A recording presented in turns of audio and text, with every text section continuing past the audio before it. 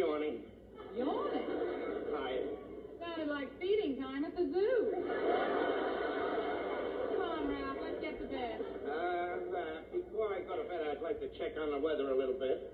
Check on the weather? Yeah, I want to see if it's raining out or not. Paper set up my brain.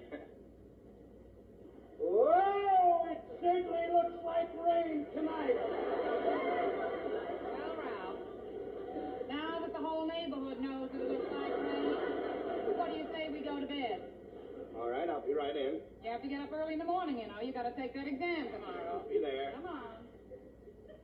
Ooh.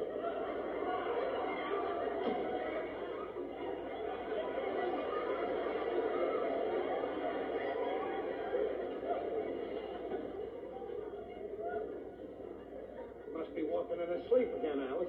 Oh, Ralph, this is terrible. He did it once before. Do you remember? Yeah, what should I do? Well, you can't wake him up. It's very dangerous to awaken a sleepwalker. It is? Yes.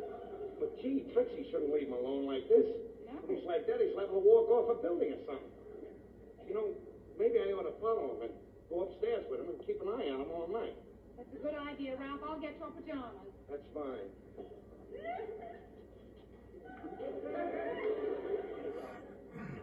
There's nothing up in my icebox. Can't I get something to eat? My stomach is full. Out of here.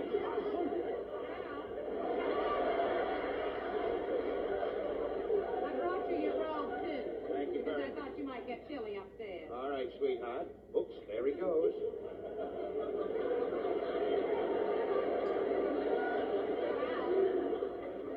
Don't forget to stop down for your lunchbox because I've got a load of fried chicken in the icebox. Oh,